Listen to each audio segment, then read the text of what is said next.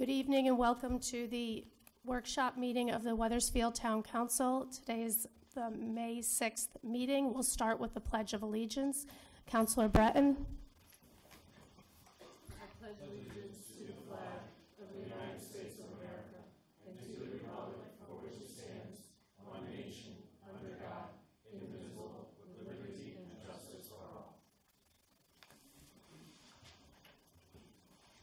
Thank you. Would the town clerk please take attendance? Counselor Breton. Here. Counselor Forrest. Here. Counselor Hurley. Here. Counselor Patina. Here. Counselor Lesser. Here. Counselor Rell. Here. Counselor Spinella. Here. Deputy Mayor Martino. Here. And Mayor Morrin Bello. Here. Thank you. Thank you, Dolores. Um, Before we begin the meeting, I'll tell you that the proclamation on National Bike and Walk Month has been uh, postponed to our next meeting on May 20th. Uh, Before we start with public comment, we do have a sign-in sheet. If you would like to speak, you must sign up on the sign-in, uh, sign-in sheet.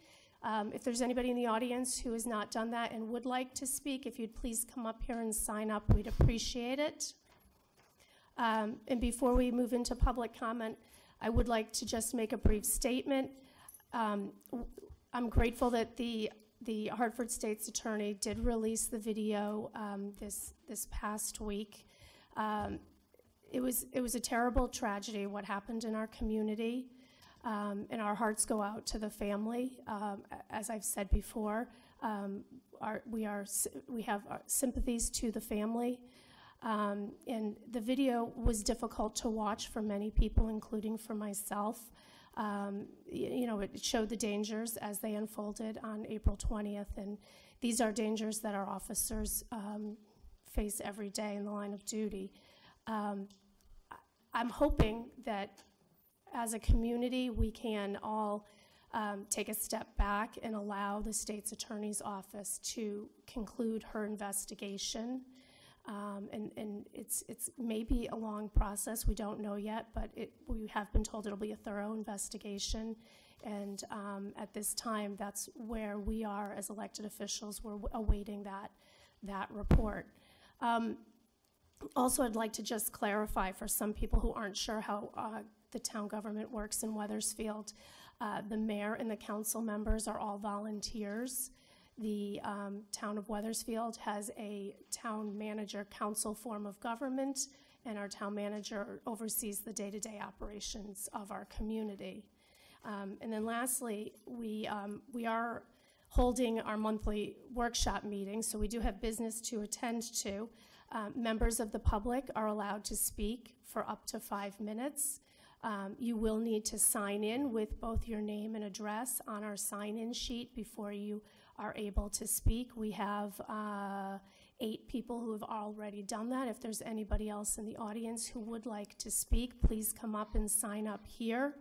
Um, uh, We we will not allow profanity or offensive statements or personal attacks to be made, um, and that we ask members of the audience to be respectful of the people who are speaking um, and refrain from shouting out while others speak. Um, You will be asked to leave the council chambers if you are unable to follow our meeting protocol. Uh, The first person that we have speaking is Catherine LaForza. You may come up.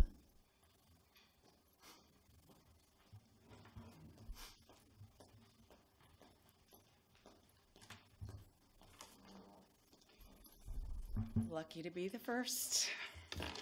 Catherine LaForza, 190 Brimfield Road. Um, I'm here uh, to stand in solidarity with the family of Anthony Vega and express my condolences to the family um, for the death of their, their son and their uncle and beloved uh, relative. I um, am I have so many feelings, it's hard to put into words, but I'm disappointed, I'm angry with the response from our town. I, I really feel like so much more could have been done. Um, this whole tragedy should have been avoided. Uh, once again, I'm here to request that, um, you know, we consider, the town consider a police commission to provide better transparency and oversight of our police department and um, also to open some community dialogue because Wethersfield has a problem. And whether the problem is reality or perception, the problem is real. And uh, there are issues here that need to be resolved. We are a neighbor of Hartford. People from Hartford come to our town. We go there. We move back and forth between uh, Hartford and here. But the perception for that people uh, of color know and feel is that Wethersfield is not safe for them. Um, I- this book came in the mail as I was going out the door. I have a brief little thing that I want to read, and it's called Small Kindnesses. I've been thinking about the way when you walk down a crowded aisle, people pull their legs in and let you by, or how strangers still say bless you when someone sneezes. That's a leftover from the bubonic plague. Don't die, we're saying. And sometimes when you spill lemons from your grocery bag, someone else will help you pick them up. Mostly, we don't want to harm each other. Mostly, we don't want to harm each other, but harm was done. And out of that harm, we need to find a way to address the issues that are real, that are tangible, and that can help this town be stronger, be more connected to one another. Um, because right now we're fractured, and and it fractured in an ugly way um, that makes me um, sad and ashamed to be a resident. Thank you. Thank you. Um, Next, we have Meg Scheibel.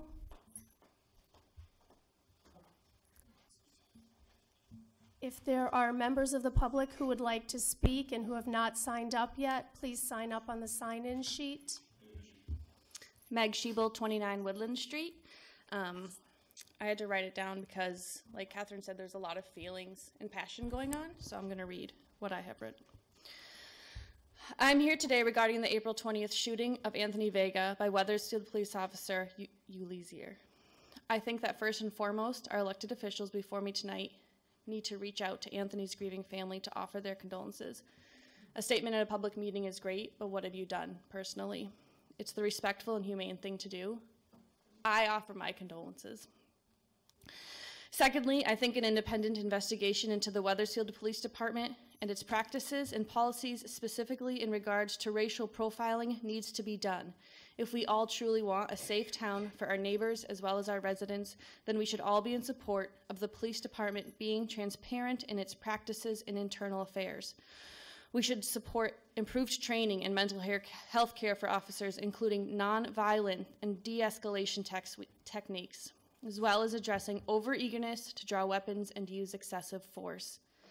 The council and the mayor are well within their power to open an investigation per section 314 of the council code.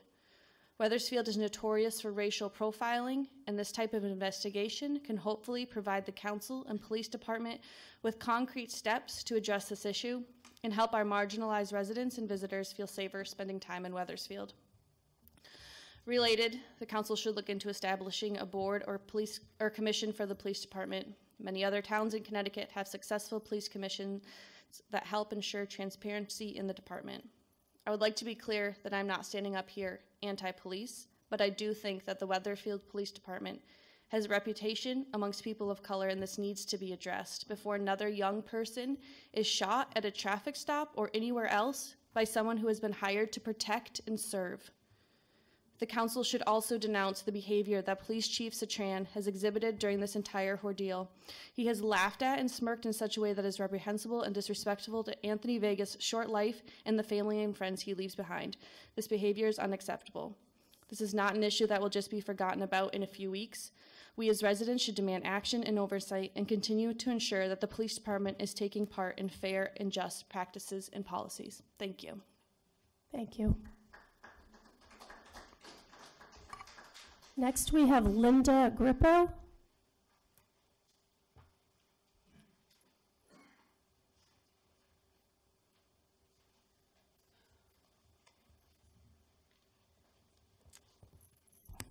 My name is Linda Grippo. I live on 75 Fairlane Drive.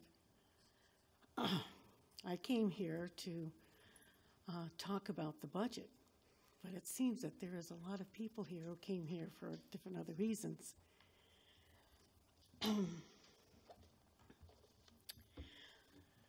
I just wanted to say that um, I've lived here for many years, over 50 years, and I've seen a lot of changes done in Wethersfield. And um, we accepted different changes in the town and different changes in our budget, and we accepted those changes to um, really help our community, help our school, and to be a really good town for people to come to live. I um, did some research about the mill rates. Of course, you must all know that of the surrounding towns uh, that are much um, lower than we are. And um, I've been trying to figure out why people would come and live in Wethersfield when they know when the real when the um, mill rate is so high. So when you go through your budget committee and you go through all your different um, items that you need to look at and find out what is more important and what do you think it is accountable for the raise that you might be accepting for the town and going for a mill rate of over 40, 41 points or 41 mill rate. And I hope it's for good reasons and not for things that were promised two years ago when we built this high school, when there was a lot of money that was involved there.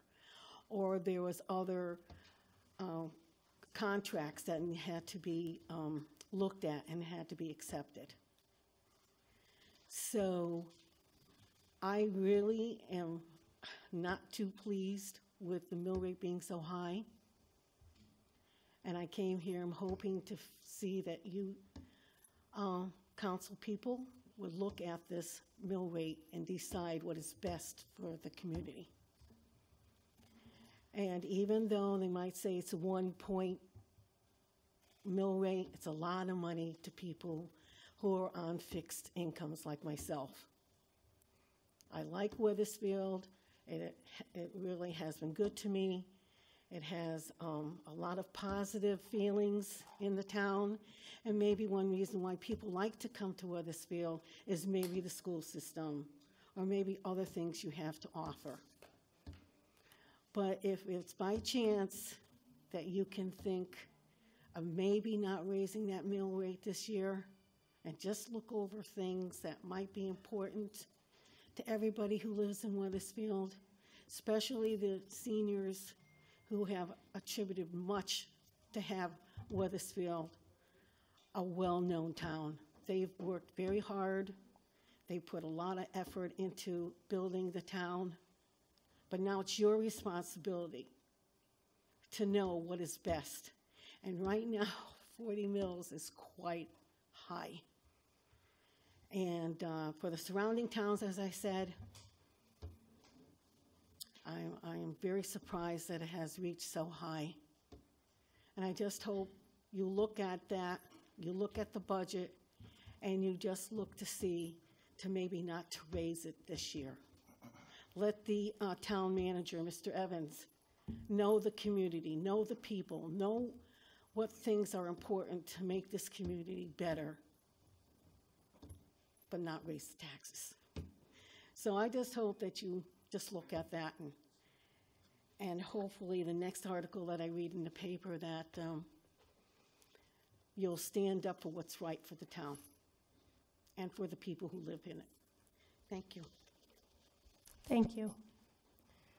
Our next speaker is Michael Kenton.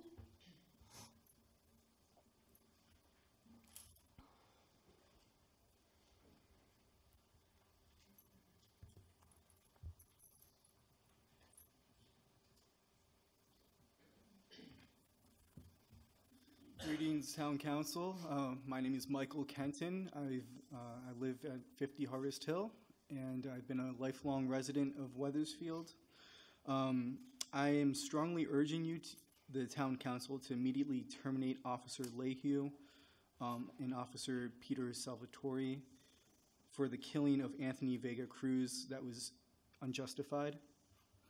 You have subpoena power to pr- prosecute, so I'm appealing directly to the council to pursue laws and regulations that enforce stricter controls on police, including police, uh, including a police commission. The police chief has only exacerbated this tra- tragedy and needs to be fired as well. This police terror needs to stop now. Wethersfield needs to make efforts to build relationships with communities of color. And I ask, what is your plan? Thank you. Thank you. Next, we have Rose Pish.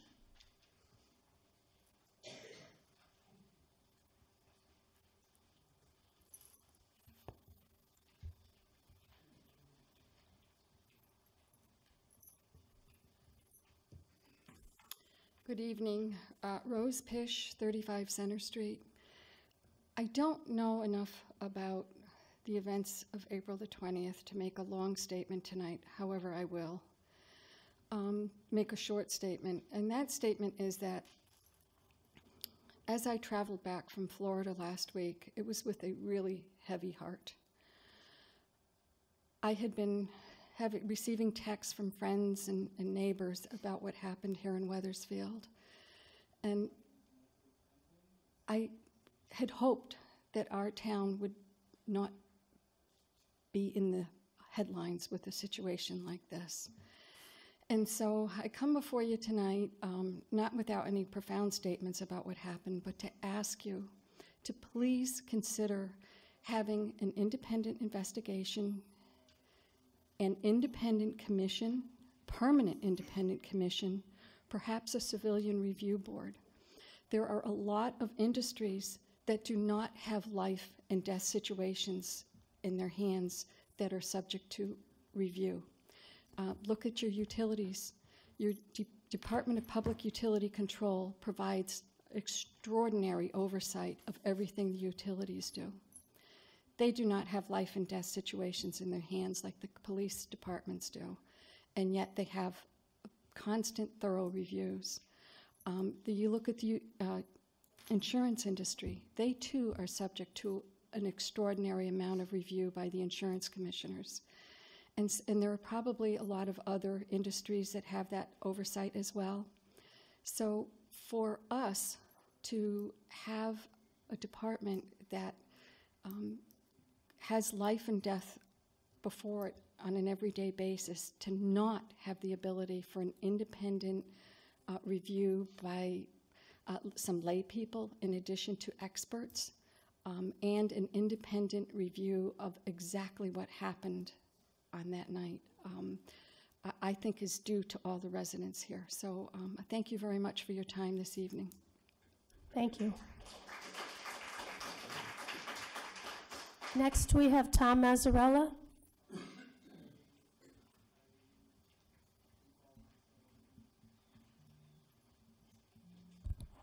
Good evening, Tom Mazzarella, 600 Wolcott Hill Road. I'd like to speak a little bit tonight about the budget discussions that have been going on. I, uh, generally speaking, I believe that the, our town spending should be distributed equally amongst the various consumers, let's say. And with a town of 26,000 people, I'd like you to keep in mind that we have 3,600 that are in a school system. Yet we pay, the majority of our taxes, tax dollars go towards the school system. 60-something percent, I believe we're at. Roughly uh, $17,000 per student per year to educate them. We're one of the higher towns in the state on costs per student to educate. I do not believe there's any correlation between dollars spent on education and performance. And that was evident in the recent presentation that you received from uh, Mr. Stoley. Uh, There's a lot of areas in town where we're not meeting the marks. We're certainly not excelling in all the marks. Some are actually going down. Rather disappointing to see when we're spending that kind of money. Um, I was uh, fortunate to attend some of the budget workshop meetings. Uh, The last one, uh, Mr. Emmett, the superintendent, was presented with a request to come up with some scenarios of possibly reducing his budget. And of course, we, we all knew what was going to be on the list. The first things on the list was, we're going to have to cut some teachers. We'll cut eight teachers. We'll cut freshman sports. We'll cut lacrosse. We'll cut the fall and spring productions. All the hot buttons that all the parents are going to be up in arms about. Uh, What he didn't talk about was some of the overhead that's in the school system. If you look at the total number of employees in the school system, about half of them are, are not in the classroom. They're not teachers. They're administrators and everything under the sun. Um, I attended, uh, I looked at the, I tried to look at the whole school system, and it's obviously more than a one-week task. But I did start looking at the Wethersfield High School. Back when I attended Wethersfield High, the population was about 1,400 students, and it was comprised of 10th, 11th, and 12th grade. Um, I had 465 in my graduating class. Now, years later, we had to put a very large addition on that school. We didn't have enough room. But there's 1,100 students now. There's less students. Yet we needed more space. We needed $85 million worth of improvements to have a, a nice state-of-the-art high school, which is great. I started looking at some of the, some of the positions that are filled. There's a, there's a superintendent, there's an assistant superintendent. Do we need to have an assistant superintendent? I don't know. Why not knock one of those positions off that are 150 or 200,000 dollars, and you save four teachers' positions? Going down further, you have directors for all kinds of positions. I, I happen to notice guidance counselors. There's eight guidance counselors for 1,200, 1,100 students at the high school. When I was there, there was three. What do we need, more guidance? I, I just don't see it. That goes in all kinds of areas in spending. One of the things that caught my eye was paper and copies. 10 million copies district-wide for the, for the high school, or for the Board of Ed. 10 million, $42,000 in copies. There was also a line item of $42,000 for paper, copy paper. I think that's a duplicate. Um, When you go through that budget line by line, there's all kinds of errors. One of the things that bothered me greatly was um, mileage stipends. There's 30-something people that get mileage stipends. They don't have to drive the car, they don't have to report their mileage, yet they get paid for it. Mr. Emmett gets $7,800 for that. Your time's up if you Thank just you. I'll wrap wrap up. up and be back later. Thank you. Our next speaker is Ed Peruta. If there's anybody else in the audience who would like to speak, please come and sign, uh, sign up on our sign-up sheet. Um, You will not be able to speak if you have not signed up. Anybody who'd like to sign up?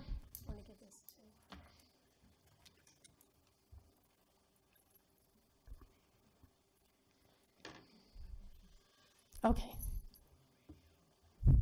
Go ahead.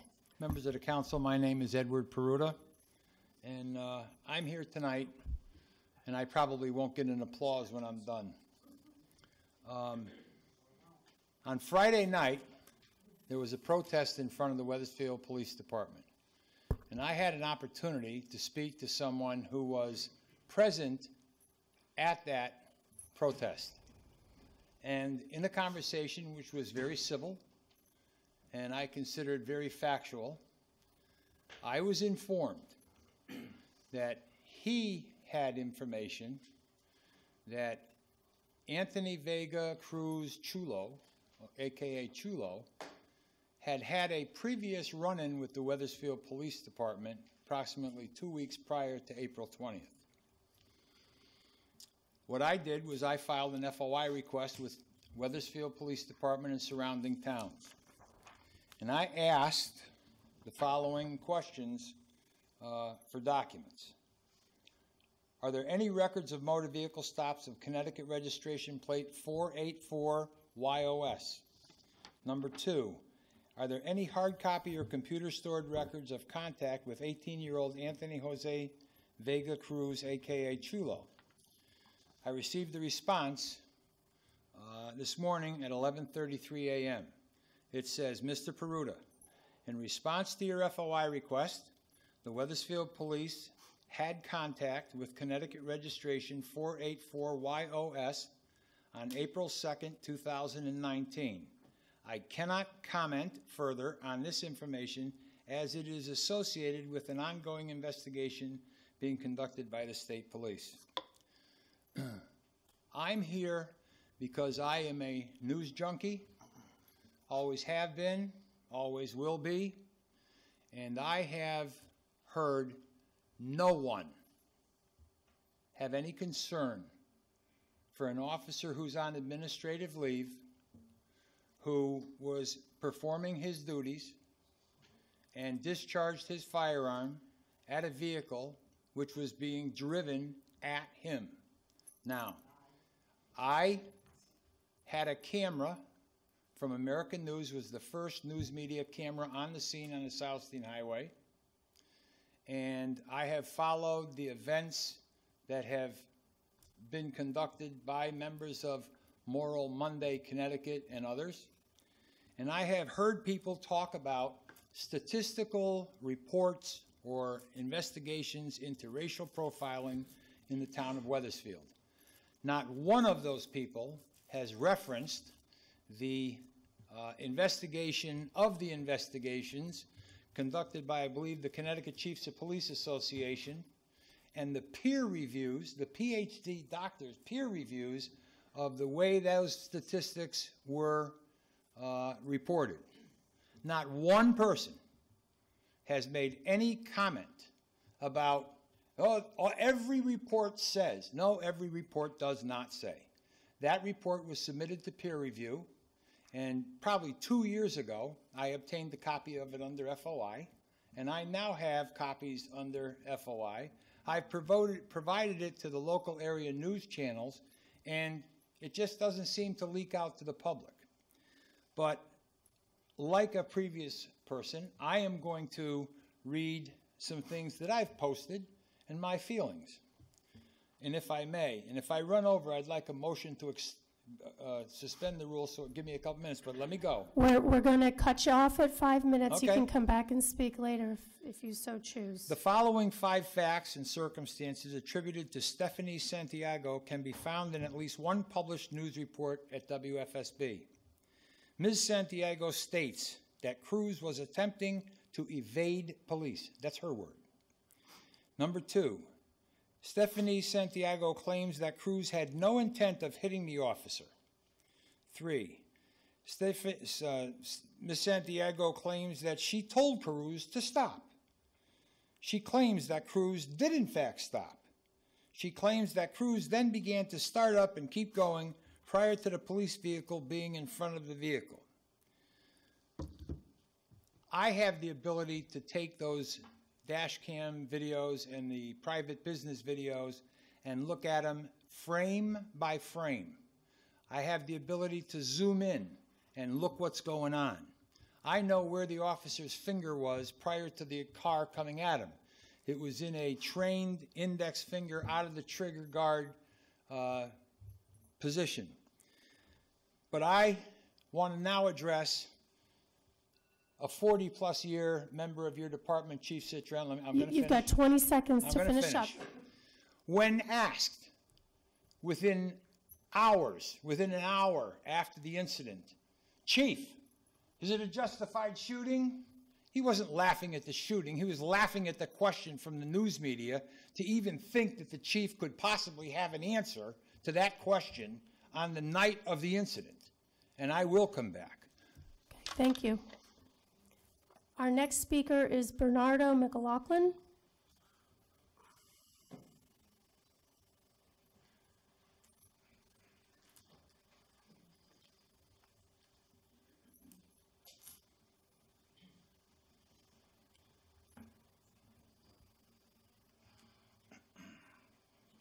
My name is Bernardo McLaughlin. I am a Hartford resident. Um, and I'm a member of my of our union's General Defense Committee, which focuses on police brutality issues as well as other uh, areas surrounding state-sanctioned violence. Um, we were out in the streets on Friday night, as you know, and uh, my main thing, main reason for standing before you today is to just simply repeat our demands of the night, which was we expect immediate termination of this police officer who is responsible for the homicide of Chulo. I think we were very clear about that. And, you know, investigations are great. You should definitely do that. You should investigate and see what you can find. That we don't consider that serious, though. That's an effort to placate voices that are in our communities, um, whether that's Wethers- Wethersfield residents, Hartford residents, people from around the state.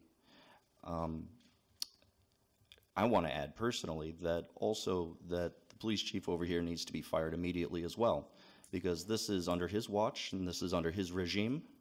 And it's clear to us from this incident, and many other incidents that our friends and neighbors and ourselves have experienced firsthand, and it's clear to us from the actions and the words of the police on Friday night that this is not an organization that considers itself a public servant organization. This is a military organization, and it's clear to us that that type of organization does not belong uh, in our society as as interacting with the public over driving infractions, things like that.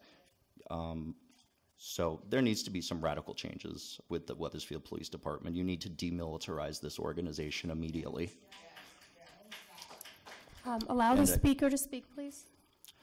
No, please we'll applaud. Um, and the other thing I want to say is that I am deeply encouraged by some of the people of conscience in this town. Uh, I have family from here, I have friends from here, and this is uh, a town that does have a uh, some concern for the lives of people like Chulo. And the reason I say that is because this isn't just like a handful of people that are concerned about this. This isn't just outside agitators like myself. This is people from across the state, across the country are concerned about this. And at the end of the day, we outnumber those who would see an unaccountable military organization gunning down young people like Chulo. We do outnumber you. And we're not going to be placated by these so called investigations, and we're not going to stop at any point until we get justice. Thank you.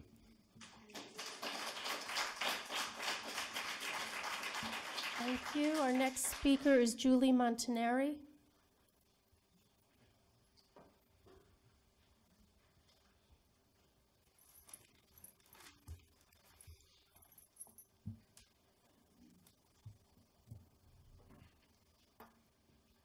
Yes, I live at 43 Amato Circle. Mayor and council, and um, welcome to our new town manager. I did want to express myself this evening um, as a member of the community in regard to what happened in, on April 20th. I think, like many people in our community, we have um, we're able to feel for both sides of this divisive issue. It's, it's really um, divided our town. And on the one hand, you can't, if you have one ounce of empathy, you feel terrible. It's, it's like the mayor said, it's gut wrenching to watch that video and to realize that a young man lost his life. You can't help but feel for his family and his loved ones. And at the same time, while you're watching that video, you have to appreciate what our officers do in the line of duty. Uh, Thankfully, there's not um, an incident like this every day. But to have to implement their training with the adrenaline pumping and the threats and the split second decision making that needs to be made, I can't even imagine doing that. And I have a great deal of appreciation for what they put on the line every day to keep the public safe, the public that was on the Silas Deane Highway that day on a busy Saturday night. So uh, it's a complicated issue. It's clearly not a black and white issue, and you can clearly be on both sides of the issue in wanting the dynamics to change. I also wanted to say that I, I appreciate the restraint that has been um, exhibited by the mayor and the council. I agree that it's wise to wait for the investigation to be completed. I think there's been a lot of uh, inflammatory dialogue out there, and for our leaders not to contribute to the, you know, not to add to the flames, I think is wise. I trust that when the investigation is complete, and I don't know exactly how these things work, I don't know if they come with recommendations or if it's up to you or the police department or who to implement um, protocol changes or recommendations. I trust um, because I know all of you personally. I trust that you're going to do what, need, what needs to be done to make our community safer for young people that live here and drive with a license, without a license, and for our officers that are on the street every day. Thank you. Thank you. Our next speaker is Robert Young.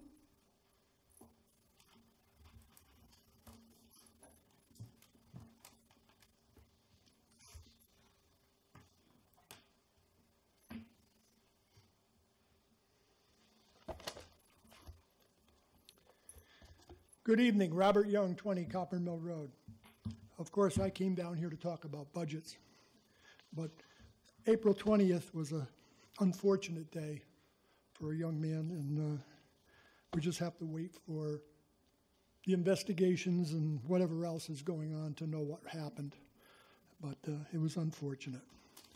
Um, as far as the budget goes, at the last town council meeting, I spoke about not having a budget book.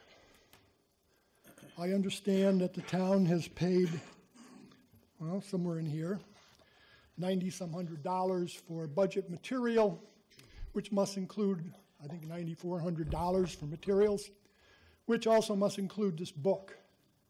And there must be a pile of them somewhere, or I would expect to have a pile of them somewhere, because they weren't sitting here for citizens to take. In past years, they have. But I, I guess that's our transparency problem in this town. We just don't have it, and you have to ask for things. But thank you, Mr. Manager, for chasing me down the hall and giving this to me. As I did go through it, though, and right in the very beginning, when we talk about different scenario, different situations, and I commented as well on it without having the, the new book, was what we call the um, renter's rebate. And what's the other one called? Uh, renter's rebate and the circuit breaker. And I was relating back to my old last year's budget book because it had that in here. But lo and behold, this new budget book, I can't find even the word circuit breaker in it. I can't find the word renter's rebate in it. So I must either, I'm a, I have to assume you took my advice over the many years of my complaining to eliminate it, and you eliminated it. If I'm wrong, please tell me I'm wrong. And if I am wrong, please show me in the book where it is. Because I think what you did, well, I'll have to wait for your answer. How is that? Anyway, it, it's, it's, not, it's not too cool to look at one book and the other book and you see things missing. especially something that's a lot of money. I also remember and recall, and I didn't talk about it the other night, uh, a week ago or two weeks ago, was Medicare B reimbursement to retirees. Our retirees get very generous pensions. And then on top of it, they also get the what they pay in Social Security for Medicare B. They get a refund at the end of the year, twice during the year. As a matter of fact, um, they get a payment of $629 halfway through the year, and at the end, the other end of the year, they get the other, the other 629. It equals somewhere in the range of $1,258, something that nobody outside of government would get, or I should say, outside of government in Wethersfield. This may be one of the only towns that I'm aware of that gives this benefit. And I have talked about this for years at budget hearings and prior to, and it still pops up as a big expense. It's a lot of money that we shouldn't be paying because nobody else gets it. But we should really look at that. You know, I just recently got, you know, we, we're hearing about the teachers' pensions and how the new governor is going to be funneling out 25% to some towns of what the pensions are, and as little as 5% to other towns, which I think is very inequitable. But what do you expect from Hartford? But I, I, I have a page here, one single page, ladies and gentlemen. I don't know how many entries or how many people there are on this page, but there's 590 pages to the teachers' pensions. Just like this. It equals a horrendous amount of money for teachers' pensions. And we're going to be paying 25% of what's being paid for pensions for the teachers this year, maybe next year. But then, after looking at 591 pages, I skimmed it down to Wethersfield. And, you know, Wethersfield has five pages of teachers. Your time is up, Mr. getting- Young. Oh, well, madam, um, this is, this is serious You have about 20 seconds to finish up. We have five people from town of Wethersfield that get $100,000 and more. We have two that get in the $90,000 range. This is a yearly pension. We have 13 people who get money in the $80,000 range. We have 23 people who are in the $70,000 range. And it just keeps going on. I mean, this is the first page. Okay, thank you, Mr. Young. Your time's up. You can right, come back at the It's end. It's always a pleasure, madam, to come down here and, and you know, ratchet jaw with you. Uh, and, and I know you're so serious and uh, you find all of this that citizens bring to you as so uninterested. Thank you, Thank Mr. you. Young. Um, Our next speaker is Greg Brown.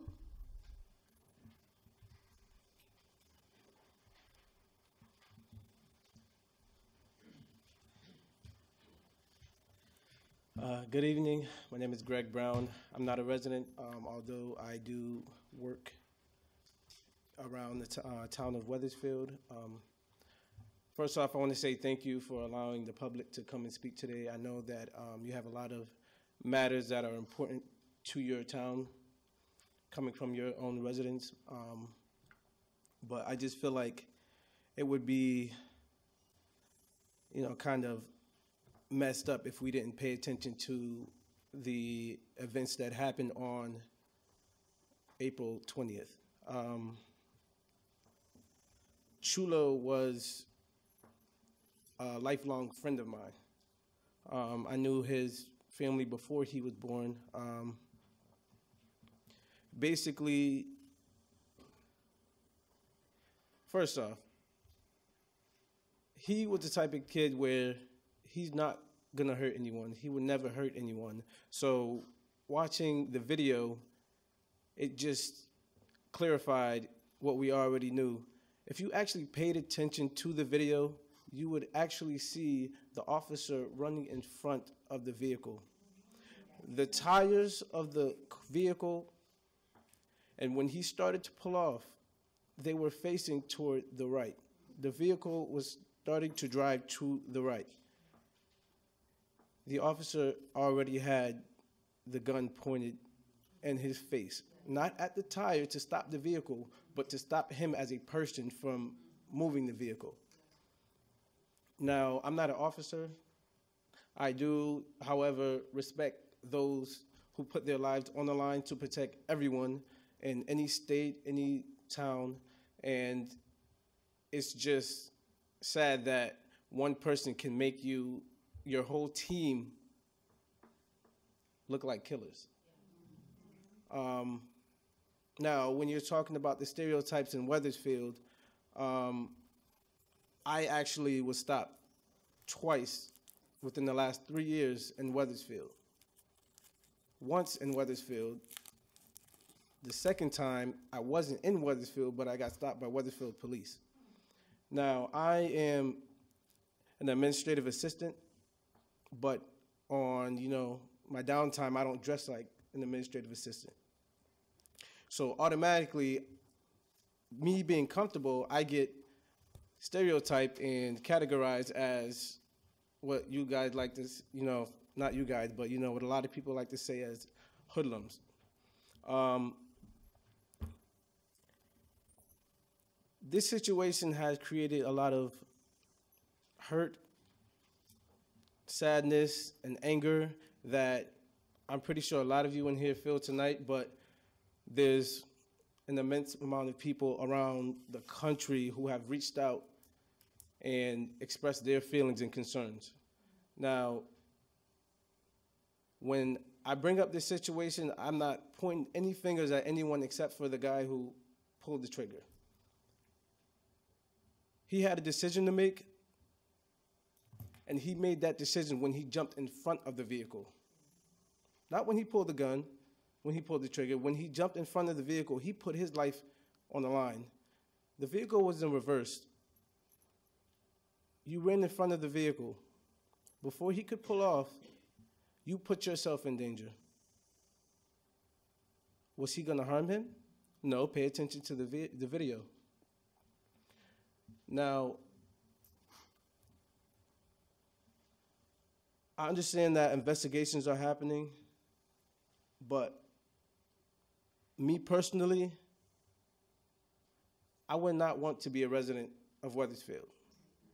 I would not want someone who feels like if they have to pull the trigger, they're going to pull the trigger, but not for what the trigger is supposed to be used for. If I had a family, would I feel safe with my children driving around? Would I feel safe getting stopped in Wethersfield? No. You have a lot of stores, a lot of businesses, a whole strip, Red Lobster, uh, all. Silas Deane Highway is one of the like main shopping centers, shopping plazas, whatever that I go to. I have to be careful. I'm, I'm keeping my windows down when I'm driving by now. I don't feel safe with my windows up. If it's raining, yeah, I'm gonna keep them cracked because if I get stopped by an officer who automatically stereotypes me, what am I gonna do? And this is not a problem just in Wethersfield. This is a problem all over. Wrap up, your time's up. So basically, there's a lot of change that has to be made. There's a lot of things that have to be pointed out. And before you sit here and criminalize a person, you have to hold accountable the officers who made that decision that he did not have to make. The vehicle could have been stopped. He did not have to be stopped with a bullet to the head. Thank you.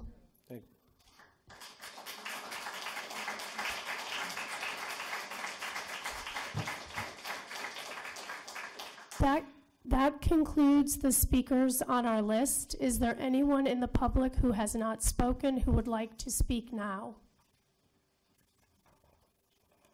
Is there anybody in the public who'd like to speak? Okay, then we're declaring the public comment clo, oh, I'm sorry, I didn't see you. After you speak, would you please sign your name and address? Thank, thank you. Hi, um, my name is Kamel Scott, um, and I am uh, actually a resident of New Haven, Connecticut. Um, and I work for an organization, I co run an organization called CT Core Organized Now. We're a statewide racial justice organization here in Connecticut. Um, I don't want to take up too much time because a lot of what really needed to be said was said. Um, and I want to just express my condolences to you and, and appreciation to you for speaking um, because I know it can be incredibly hard at moments like this to speak the truth. One thing I want to make sure is said today um, is about the investigation process, because um, as an organization that does racial justice work, that has been involved in anti police brutality organizing in the state for several years, we've been through a number of these investigatory processes, and it's, it's like Groundhog Day. Every single time there's an incident in the state, we hear, let's wait for the investigation, let's wait for the investigation. So let's talk about who's investigating.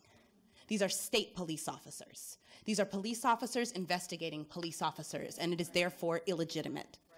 So, people who are calling for an independent investigation, um, I know there are a lot of demands stated here, and I can't say that I know exactly what the demands are, but I do support um, those who are organizing.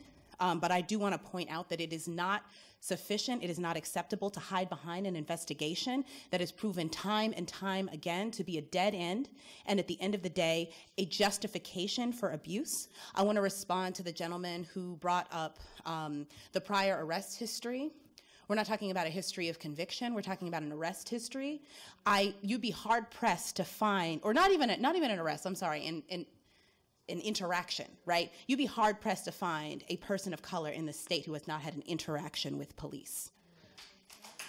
And that is in no way, whether it is an interaction, whether it is an arrest, or whether it is a conviction, that is in no way a justification for someone to be shot dead in the streets, for a police officer to act as judge, jury, and executioner. There is nowhere in this country in the history, well, there's nowhere where it's written down that that is the way that policing happens, but we know that that is the way policing happens in this country. So I think it's also important that we acknowledge how the system has been operating. We acknowledge that none of this is new. We acknowledge that this is not limited to Wethersfield. This is happening all over the state.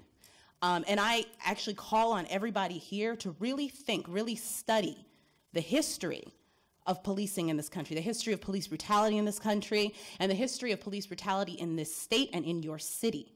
And understand that Chulo is actually, I believe, one of more than 20 people who has died at the hands of police in the state in the last two years, is it? So many of us have been organizing in solidarity with families, and we're going to continue to organize. I want to echo um, what Bernardo said like, we're not going anywhere because this is life and death for us. I'm also a mother. Um, I have two young girls, and I worry for their safety. I worry for the safety of my children's friends and for the safety of everybody in my family. So, with that, I'm going to close because I don't want to take up too much time, but I do want to recommend that everybody here, especially those on the council, research this investigation process, research how these things have gone in the past, and recognize that something different needs to happen and that entire system needs to be overhauled. And in no way is it acceptable for police to investigate police and for states attorneys who have close relationships with police departments and police officers to be the final arbiter of whether or not this completely unacceptable behavior is acceptable. Thank you. Thank you. Oh, did you? Okay, thanks. Is there anybody else who'd like to speak tonight? Mr. Rue?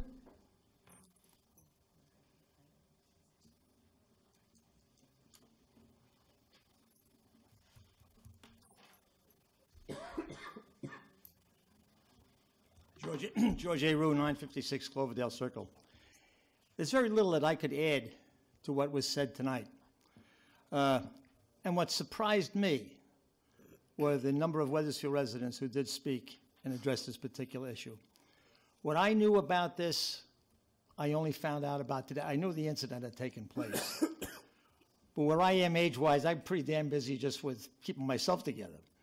So I saw the video tonight very briefly on my son's cell phone, and I have no opinions on it at this moment. I was very impressed. I want to share. I was very impressed with Paul Montanari's letter to the community at large. I didn't agree with everything that he said. And I, I, I always have a little bit of a problem personally with, with the police in that every day they put their life at risk They may be called upon to put their life at risk. That's very different than putting your life at risk every day. The, pers- the people who put their lives at risk every day are those soldiers that are in wars and stuff like that, where the object is to kill you and you got to kill them. But that shouldn't be the role of the police. And I think the, the, the, the concern that the, the thing that I would share with you is as you proceed in investigating this particular issue, be very cautious and be aware of statist- statisticians or people who think they are statisticians and understand all of the fine points that go into uh, uh, research on statistics and, and this kind of stuff, uh, which can only serve as a detraction and as sort of an excuse in some ways or a defense in some ways as to why this was just a minor incident. It was a terrible incident. It was a terrible incident. And when you're 18 or 19 or however young he was, you're just a doggone kid. You're a kid. And there have to be choices. And I think the problem that we see, I, I never thought it would come to Wethersfield, but it's a problem that's happening universally throughout our country. This is not isolated here, happened one time. It's happening all over. Are the police, and many, many cases, the police are really somewhat pretty much to blame. At least that's the perception that I have as I read the papers. So just with those thoughts, I'd, I'd like to just leave it go with that. Thank you. Thank you.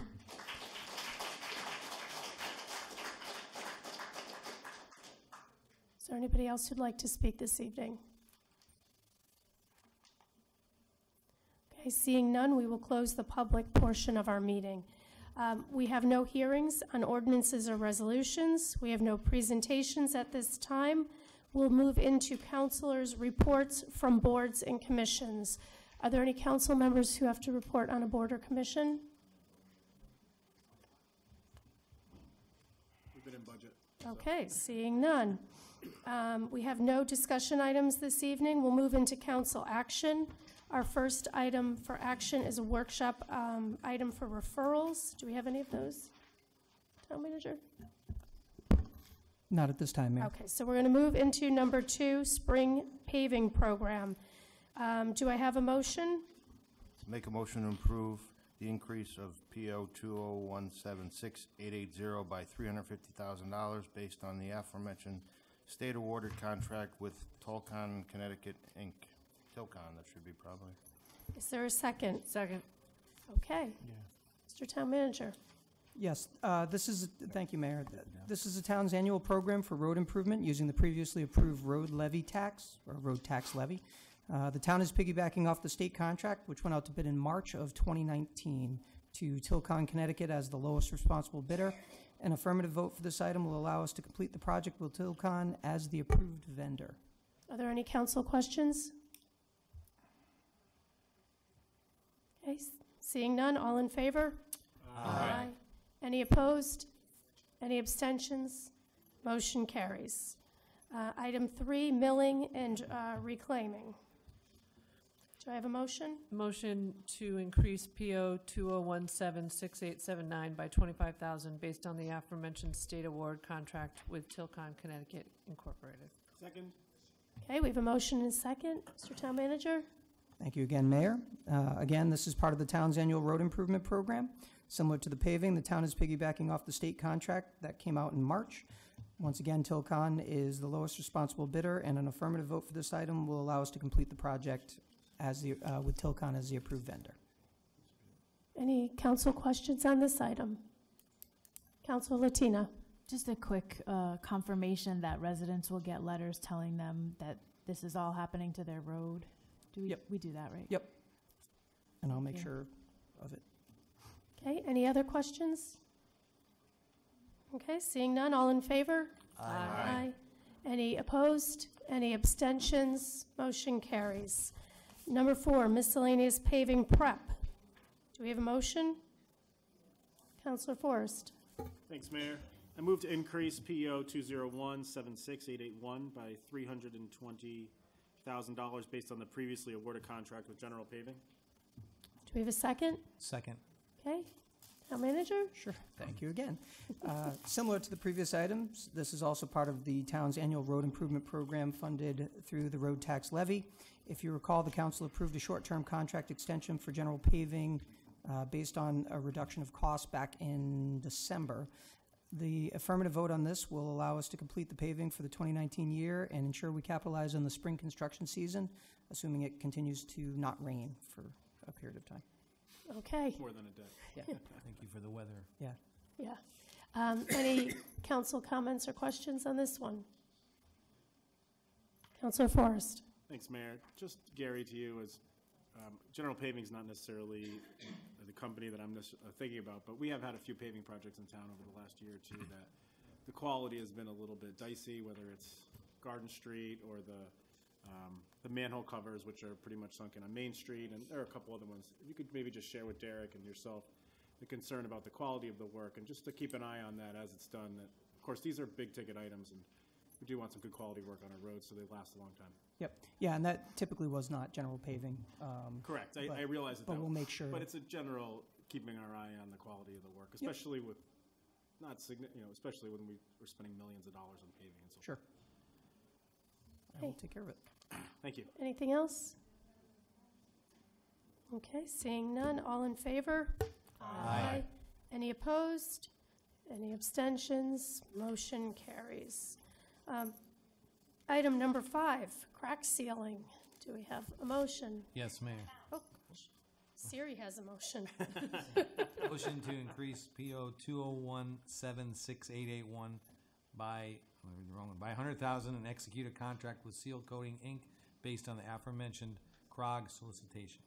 Do we have a second? I'll second, but it's the wrong number. I think we might have to modify Yeah, that. you read the wrong number. Did I read the wrong one? Yeah, Maybe just do a quick withdrawal if you want, and then that PO. bring the PO box back. Was it two, oh, I Go ahead. withdraw my motion. Okay, go ahead. Sorry about that. Do the Uh, letter amendment. I motion to increase PO two oh one eight six eight eight five by a hundred thousand and execute a contract with Seal Coating Inc. based on the aforementioned CRCOG solicitation. And do we have a second? Second. Okay, town manager. Sure. This is the last for this agenda uh, in terms of the town's annual road improvement program, funded through the road tax levy. We are piggybacking off of the uh, Capital Region Council of Governments bid solicitation that came out. Uh, Seal Coating, Inc. was the lowest responsible bidder. As you know, crack sealing helps extend the life of the roads and slows the deterioration of the substrate. So an affirmative vote will allow us to complete the project with Seal Coating, Inc. by increasing the PO. Okay, are there any council questions or comments? Counselor Rell? Just to be clear, this is not um, the old style of uh, chip sealing or anything like that. I know years past, we've heard comments from residents about the dust buildup. That's, that's not this type of sealing. This is true filling in the cracks. Correct. Okay. Yep. Just to relieve any fears that people might have about those uh, coming down. Is this the same company that did, um, I guess it would be Griswold Road? Uh, I know uh, Deputy Mayor Martino, you had mentioned a couple years ago, that job was different than all the other jobs in that they put a pretty wide swath of sealant on that road, and I think they did Thornbush as well. Um, Is that the type of sealing that this is going to be done, or is this uh, smaller, more minute? I would have to check on that. Okay. Um, I believe they're picking, um, I, I don't think it's the same back and forth, but they, there are, there's a certain amount of zigzagging, or I think they call it alligator. Right. Um, But, Just trying to extend the life of what's currently. correct. Uh, If they don't seal it, essentially, you, moisture gets in, water gets in, whatever oil gets in, and it starts to expand and contract, and which deteriorates the substrate, Mhm. which will cause it to uh, uh, fall apart much quicker. Okay. Deputy Mayor? Uh, Mike, just to clarify for you, uh, this is the normal crack sealing process that we do every year. It's not the special thing that we did down the center of uh, Griswold. Mhm. That was special to test it, and they'll probably come back to us on that.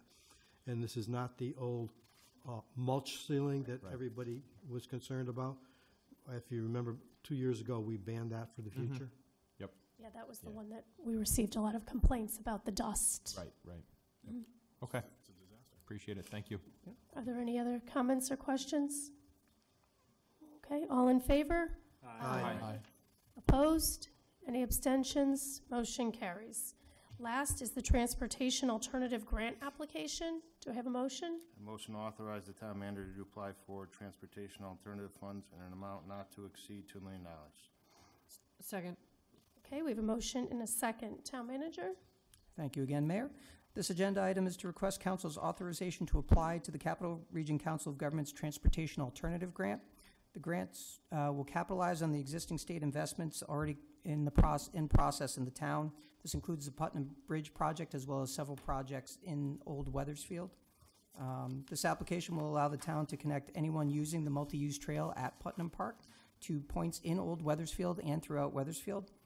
The application looks to encourage alternative modes of transportation from a regional perspective, including connecting Rocky Hill, Glastonbury, and Wethersfield to Hartford. Um, An affirmative vote allows us to apply at this time. It does not commit us to any funds. Okay, are there any questions? Counselor Who picked these projects and not other projects? Uh, It was uh, several members, uh, from a committee standpoint, we went through the existing projects uh, and determined what would qualify, what wouldn't. And we determined there was a piggyback opportunity since the state was already investing in point A, point B, and point C. And we had to have a regional collaborative. We needed to connect point A, point B, and point C. And just from experience around the group, it was what has a larger aptitude to get approved. And the group was town staff. Town staff, correct. Okay, thanks. Counselor Lesser? Thank you, Mayor. Uh, Mr. Manager, is this something we apply for every year? No, this is, this is relatively new. Um, The funding source is actually the federal government. There's no, uh, uh, there's no uh, allocation of funding at this time. It's in preparation with the assumption that funding will be available. That funding will go from the federal government to the state. The state will then allocate it to CRCOG, and they're looking at maybe three projects. So the estimated timeline, um, if approved, is really fiscal year '21. So it's not, it comes up probably every three years or so. When you say uh, three projects, is that throughout the state that they're looking to? Throughout the region. Region. Yeah. So our odds of getting the grant, you- it's hard, I don't want I- to put a number on it. but Yeah, I'm it's not gonna calculate. But no, but it's. Where's Mike O'Neill? Um, But there's a significant chance we would not get the grant. Yeah, yeah. Got it. It's, it's highly competitive. It needs to be a million of a half, a m- minimum of a half a million dollar allocation, uh, application. Um, In conversation with staff, though, we see it as an opportunity to build our capacity for a future application, which may come through other state resources. And this is just to approve the application to apply. This is just allowing us to apply, correct? If we get the application, they'll come back with a Thank you. request. Okay, thank you. Any other? oh, Counselor Rell? Do we, and there's a state project that's connecting Wethersfield to Glastonbury right now through the Putnam Bridge? Correct. Do we know the cost for that project? I believe we're at 9.5 million. And is that uh, shared between Glastonbury, Wethersfield, and the state, or just the two towns, or just the state? I don't think that's coming, any of it's coming from our funds. It is all state. All At state? this time. And it's not any of this up to $2 million? Nope, nope. This would actually extend the area, so um, from the Putnam Bridge, we'll call it the landing area, down Great Meadow Road, around the corner to connect Marsh Street. It would also reduce, um, right now Hart Street is one way heading in the wrong direction. It's extremely narrow, and you don't have the ability to expand the road because of wetlands on one side, um, or actually wetlands on both sides, so you can't encroach. And there's a safety hazard as people are walking or biking from that area to connect to Old Wethersfield, which forces them basically to the side of the road. So this would expand the width of the road. It would provide sidewalk space as well as shared space for, bu- for bicyclists. Okay. Thank you. Counselor Hurley? One more. So this is eighty, and eighty percent funded and twenty percent would come from the town? Correct. Any other questions or comments from council? Okay, seeing none, all in favor? Aye. Any opposed? Any abstentions? Motion carries. Uh, We are now returning to public comment. Members of the public may have five minutes to speak. If you um, wish to speak, um, if you would just sign your name back onto the sign-up sheet, and if you're a new speaker, your name and address to the sign-up sheet once you've uh, spoken.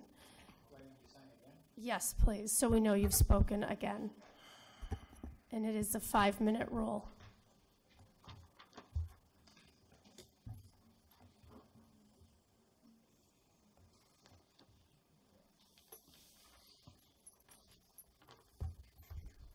Again, my name is Edward Peruta. I need to give some a little bit of rebuttal. I read to you the response in an email that was given to me at 11:33 a.m. today. Um, I have been doing my due diligence to try and find out as much information as possible. A woman from New Haven came to the podium, and I believe she was referencing when I said that there was an interaction with that motor vehicle plate on April 2nd. Um, Wethersfield, Hartford, and I believe Newington share what's called an LPR system, license plate reader. And that system you spent a lot of money to implement in our in your police department. And it's my understanding that uh, it wasn't simply a interaction, because there was no interaction. My sources are telling me that on April 2nd, an attempt was made to pull over 484 YOS because of the tinting of the windows and the time in the early morning hours. Didn't know who was driving. Could have been a five year old. But when another one of your officers got out of his vehicle and approached 8484 YOS, that vehicle took off in the night. And because of the darkness, by the time the officer got back to the vehicle, he couldn't see it anymore. And because of the, and I, now I'm going to go out and kind of go off and think. On April 20th, there was a gag order or an order that nobody talk about the incident. That included the manager, the mayor, the police chief, uh, police officers couldn't talk to each other. Not, not a lot of people had a lot of information. When the video was released by the state's attorney on Friday, I can only imagine that somebody sat at home looking at the early dash cam video from District 5's car and looked at the plate 484YOS and said, Whoa, wait a minute. I know that plate. Now, I, 48 years ago, was a Wethersfield policeman. And Wethersfield police officers are hired to enforce the laws. They are hired to protect the residents of a community. And they are hired to use their gut instinct and, and, and things that come to them when they're out on patrol. Something caused the need to run a plate. The plate comes back not belonging to the vehicle. The vehicle in the video that I'm looking at is heavily tinted. And I'm going to tell you, I've looked at every frame. The front wheels of the car are in none of those frames. And I've stopped and I've looked and I've extended that one second to five seconds so everybody can see it and I've posted it. When the initial confrontation starts, the vehicle is stopped, the officer is in front of the vehicle, and then the vehicle accelerates.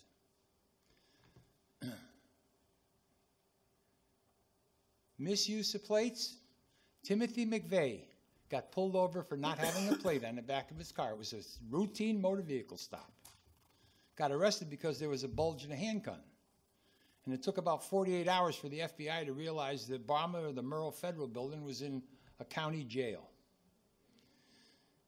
The Monday following Saturday, a 16 year old unlicensed operator from Windsor in an unregistered, uninsured car was shot in Hartford at Albany and Sigourney. Hmm. The family said he was out maybe driving for Uber, but he didn't have a license and he was 16 years old. Shortly thereafter, during the week, an unregistered dirt bike in the city of Hartford collided with a pedestrian. During that week, in the town of Newington, a Newington police officer pulled over a motor vehicle that had misuse of plates and found out that the operator had an arrest warrant for a shooting in Stratford, Connecticut. Police officers are supposed to look, analyze, be suspicious, what's going on, I gotta find out. That's their job. Misuse of plates is a violation, tinted windows is a violation, and the way that vehicle was hauling ass up the Silas Deane Highway, it went into reverse 180, went into the driveway, and Wra- risked everybody up. on the road. I'll wrap up, seconds. Madam Thank Mayor. you. But I'm just sitting here saying that I have been listening to one side of this issue, and I understand why nobody can talk. But I figured if nothing else, I'm going to say what a lot of people are saying and probably don't want to come here and say it, or they're talking privately. Thank you very much for your time. I'm. Thank you. Anybody else who'd like to speak? Mr. Mazzarella, come on up.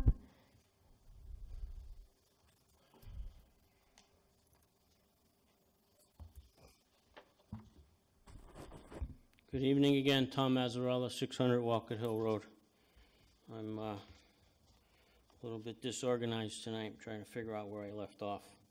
Uh, One thing that I wanted to mention, uh, not to do with the budget, but uh, the grant application that you just applied for, I think it would be helpful for everybody concerned, especially the people voting for the grant application approval, is to find out how much does it cost the town of Wethersfield to prepare one of these grants?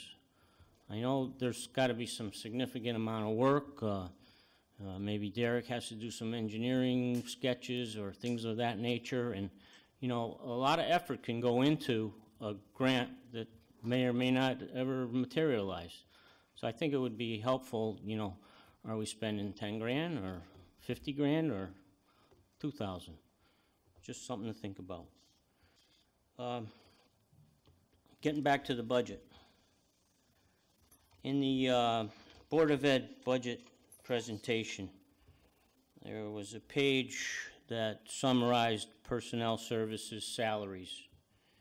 And on that total, it says total personal, personnel services salaries. It shows a 1.3% reduction in salaries for this proposed budget. When you factor in the positions that have been transferred to the town, basically the custodians and maintenance staff, and then look at the comparison of last year's budget to the proposed budget, we're looking at a 5.867% increase, not a decrease of 1.26. The, the budget as presented to you is just full of misinformation. You can put numbers, you can arrange numbers in a number of fashions to give the illusion that we're saving money, that they're doing all they can to pinch pennies, if you will. That's not the case. It's almost a game with the Board of Ed. Two years ago, they changed how they categorize all the accounts so that you couldn't take the prior year and compare it because it wasn't apples to apples. And it was explained to us that, well, in the future, it's going to be better. Well, now they've done other things. If you look at stipends, for example, athletic stipends, in the previous budgets, they had each stipend position laid out. Six grand for this, eight grand for basketball, and so on. Now it's all lumped together in one number, so it's 140,000 for uh, fall sports, 140,000 for uh, winter sports, and so on. You can't tell what's changed. We're told there's 30,000 in there for lacrosse, but you really can't tell what that number is. Going into the stipends. The stipend money is, my opinion is, it should be offset by the pay-to-play fees that athletes contribute. Uh, Each athlete has to pay a fee. And there's some caps so that if, you know, a family has six kids, they don't have to pay a fortune if all of them want to play soccer, things of that nature. That money, those stipends are in the town of Board of Ed budget. That money, when they collect that money, it's not represented in that budget. There is no revenues listed in this budget that you saw. That money is deposited into a off-account, off-books account called a Student Activity Fund. and all that money gets funneled into that account. I believe the money from fall and spring productions, ticket sales, also goes into that account. You won't see any revenues in the Board of Ed budget for ticket sales for those fall and spring productions. What you do see is 50,000 plus in stipends for the people that put on that, those two productions. I don't know where they get them, maybe Broadway or something. Uh, That's just an absurd amount of money, and it's not represented in here. Now, one of our concerned citizens has taken the steps of, of researching all those student activity funds. And it's a staggering amount of money, and it gets spent on all kinds of places. We even saw where stipend budget money from the Board of Ed budget was funneled into the student activity account. And it seems to be going back and forth. It's almost, I don't want to make accusations, but it appears it's almost a hiding place for some extra cash. Wrap, wrap it up, please. I think you're making that clock go too fast. I'm, I want that calibrated, please. All right. It's not in the budget. It's in there, believe me. Everything's in there. If you spend enough time looking, and it's boring, it's in there. Thank you. Thank you. Mr. Young?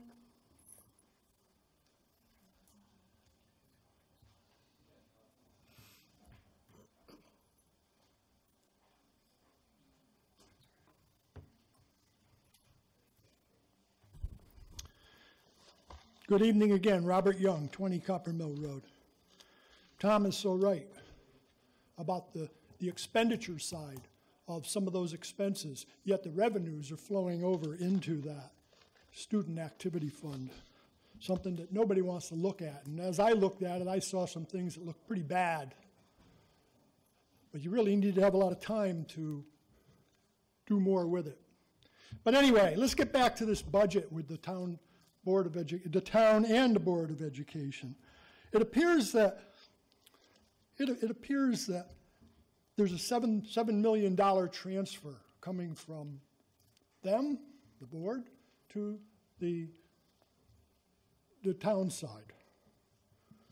Yet we're seven. The town side is seven seven million dollars high compared to earlier year. Yet the board side is only down a lot less than what the 7 million is. Matter of fact, they only show that 1.5 million. And there's a, and this might have been a great opportunity for the town, the town to push money over into the Board of Education, and it probably was a good opportunity for the Board of Education to funnel money back into their organization without anybody really seeing too much of it. It's just the, the shiftings and the, and, and whatever you did here.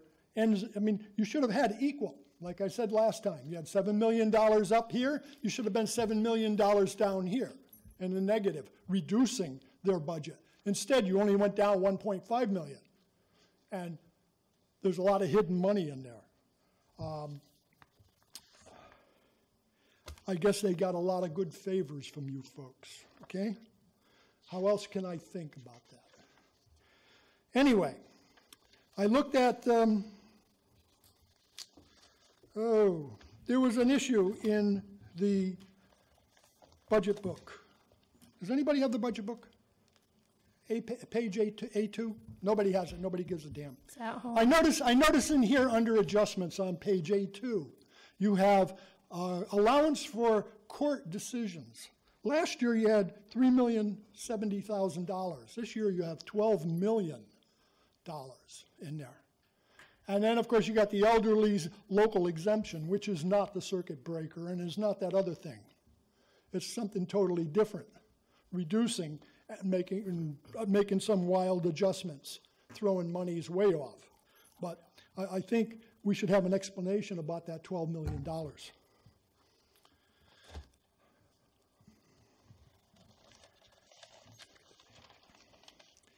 Tom spoke and I spoke last time about the coach lacrosse, uh, coach, the coaches for lacrosse, that stipend money. Uh, that, that, that, that shouldn't be happening. And again, The expenditures are on the board side, but the cash that comes in from the students that come in with all that cash is not being shown up in your statements. And I think you should go back and look at that. It's not honest what's going on here. You know, the, the, the, the town, the superintendent spoke about Chromebooks purchasing outright. One 1,441 Chromebooks. Because he said the lease that you had currently wasn't economical. Uh, I think it was just a thing to say to get to pump up more money into his budget as the phoniness that we have going on with this with this budget. And and I think if I don't know why it's uneconomical to have leases. You folks constantly lease. Or is it uneconomical? And you continue to do things uneconomical. You know, the, the city, the, the city, the town of Wethersfield is loaded with people of all different calibers, and, and we have a lot of poor people. Tom has talked about the, the group called Alice, 34% of our citizens. They can't handle this 5% increase. Even us people that work can't handle this, this increase. I recall not more than a couple months ago when Mr. Forrest was talking about, oh, the, the, the, change of the mill rate is going to keep our mill rate below $40 a, a uh, per mill. Where are we? We're at 41 plus. His theory was wrong. But of course, when you pepper the budget so heavily with extra charges in there, you, of course you're going to be up over 41. And, and, and that's why we are where we are. Um, the school system time's up, so really needs to be up, looked please. at. And, and I really wanted to talk about some other issues too, Mayor. What, my time is up again?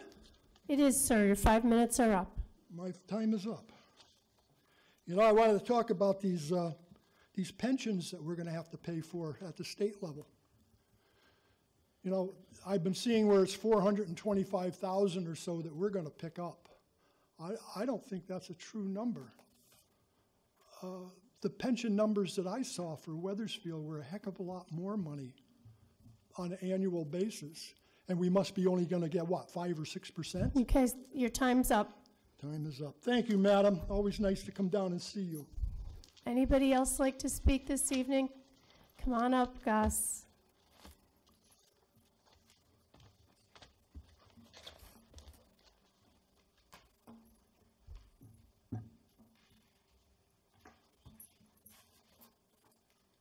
We can have Dolores write your name. She knows where you live.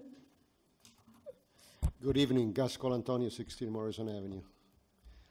I, I don't know, I wasn't going to speak tonight, but it's, it's sad every time I think of you guys, you know, says, where are we going? every year things go up. Taxes keep on going up. Uh, talking about you guys do, do the, the crack seal. Crack sealing, you know, you do it and this and that, and who's gonna, before you do a mill in an overlay, you do some pre-prep work, I guess, and who's gonna check it? It's uh, 10 employees, oh my God, I said. Uh, but something came to mind, you know, when they did uh, the work on my street, they did a lot of driveways. They were supposed to seal between the old and the new driveway. Well, they never did it. There is a crack there now. Should the town do that? I mean, you know, if it's detrimental to the street, and it is. I was an engineer before uh, I got laid off. It's detrimental to my driveway too. How long is it going to last before it's really going to come apart? And do the town employees, all of them, they really know what they're doing? Not all of them. 20% do 80% of the work, 80% forget it. Still a lot of things that were done wrong on that street. You know, the pavement was supposed to be four inches, they installed two, they had to come back. The existing pavement bef- behind the proposed curb was supposed to be removed, not just the asphalt, but the pavement consists of bituminous base and sub-base. When you remove or you build pavement, that's what it consists. It's just like a house. A house, doesn't have just a roof or the first floor or second floor. The house consists of the basement, first floor, second floor, the attic, and the roof. Not in the pavement, according to town employees, I guess. Let's talk about this taxes keep on going up all the times. Pension, you know, uh, not too long ago, my wife uh, retired and, uh, and I had to go to whatever they call it, Part A, Part B, you know, and I pay about twelve, thirteen hundred dollars more a year. And, and, and state or like, you know, uh, town employees that they are retired, they get reimbursed. This is a tragedy. When is it going to end? I've been here since 1973, and every year the tax has been going up. I am on Social Security for the past 10 years. I haven't really got much of anything at all. I know, George, you don't like this, but I'm just making statements. I'm not crying, I'm just making statements. It's, it's just crazy. I mean, you know, when you're thinking about that, basically people retire in government, and then they make more than when they were working. There is something wrong with the system. You know, I get $77 a month from my job. $77 a month. And out of that, now the state gets $4.50. And I get Social Security. A lot of the people that I went to school with, and I don't think they were any brighter than me, but anyway, they got to work in government they make two, three, four, five times much more than I do in retirement. And I ask why. It's because of the freaking unions, and it's because of you guys that you do not do your job. You do not really represent the, the residents of Wethersfield. Now, I'm surprised that basically they have a food, a food share program someplace in Wethersfield. Does that bother you at all? If you go 30 years ago, probably they did not have anything. Is it because the tax have been going up and the, and the salaries have not gone anyplace? Is that the problem? I mean, 5.36 or 5.6 percent, don't you think it's too much? I think it's too much. Where does it go? Nobody knows. Every year they get more. And they say, oh, well, it's contractual agreement. Every year it's a contractual agreement. And you guys don't have enough guts to do anything at all. I'm sorry. But the more I get to know the job you do. And you know, ah, Martino, Mr. Martino, you know, you vote on this budget and this and that, and I'm sure there are a lot of people that that you know in town. Can you really vote against it? To me, it seems that it, it doesn't make too much sense. Not it's legal, but I don't know if it's ethical. Thank you very much. I got three more seconds. Thank you, Gus. Is there anybody else who'd like to speak this evening? Come on up, Mr. Rue. Oh, boy, this is, this is much, better- this is much more entertaining than sitting at home watching TV. But, anyway. George A. Rue, 956 Cloverdale Circle. I think it was a very serious toned meeting tonight, and I hope that my elected officials heard much of what, all of what was said. And I can certainly relate to the concerns of people of color. I can really relate to that very easily. And that's a different perspective than I had in the past. Anyway, that said, uh, I, the only reason I came up is I hear you talking about fixing all the roads and the streets. On, on, on Cloverdale Circle, in front of this house called 956, there are about three cracks that run from my curb clear across the street. And, you know, and, and, and the crack where the, where the, where the road meets the, the driveway, which, who the general uh, paving there, general contractor, whoever did it. The, the only reason I bring it up is if that road was five or 10 years old, I'd say, hey, that's not par for the course. But that road was only done at the time the pond was done, and that was two years ago. And it just strikes me that in two years, we should not have, our streets should not have cracks that go from one side to the other. And it's not only in front of my house, there happen to be two or three of them there, but I noticed up and down the street there are more. You might just want to take a look at that as you go sprinkle whatever you do to make them go away. Thank you, gentlemen, ladies and gentlemen. Have a good evening. Thank you. Is there anybody else who'd like to speak this evening? Anybody else like to speak? Okay, the- Ms. Town Clerk? I have three uh, emails that I received today. One from Casey White, one from um, Megan Hartline, and uh, Farah Essen Everson. They're all um, in- in comments in supporting to have um, it, uh, let me tell you what I'm told. An uh, outside investigation for the police and policies and procedures of our department. Okay, and you'll put that into the record. Thank you. Okay, we, I believe the meeting is, I believe we are, have no other items on the agenda. There's no executive session, so we can take a motion to adjourn. I move we adjourn. Do I have a second? All in favor? Aye. Any opposed? Any abstentions? Motion carries. Thank you and good night.